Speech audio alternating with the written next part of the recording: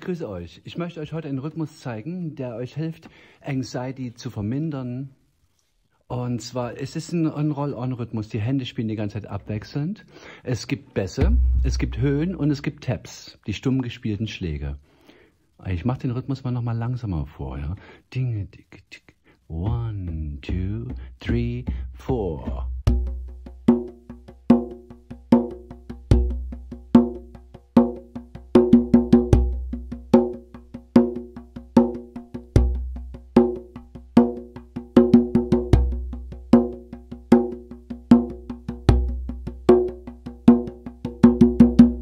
Alright? Also, die Grundbewegung ist die.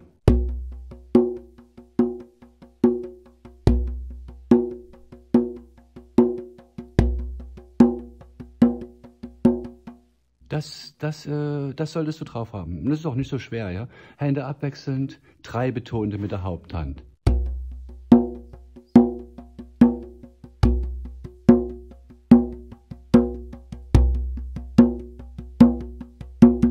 Okay, so, äh, im Durchgang ist es, ist es so, wir haben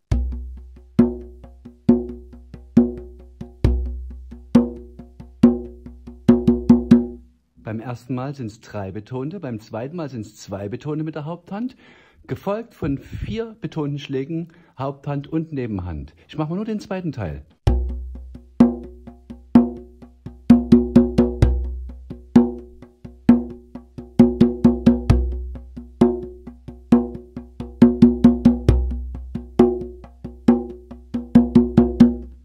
Das ist Teil 2. Jetzt beide zusammen in dem gleichen Tempo. One, two, three, four.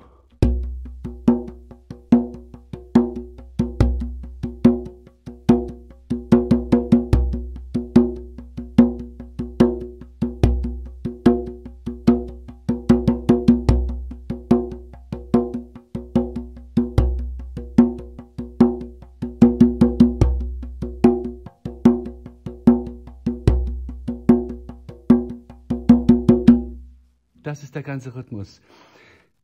Ich empfehle dir, den in dem ruhig gehenden Tempo einzustudieren, zu erlernen. Ja, und, dann, und dann, wenn du ihn kannst, ja, und du spielst jetzt für dich, meinetwegen, um deine äh, persönliche Ängstlichkeit, deine Anxiety zu vermindern, ähm, dann spielst du den Rhythmus in deinem Tempo und fängst dort an. Und du hältst die Energie, du hältst die Energie, du hältst die Energie. Und dann fährst du es langsam runter, das Tempo. So wie es für dich passt. Alright? Okay.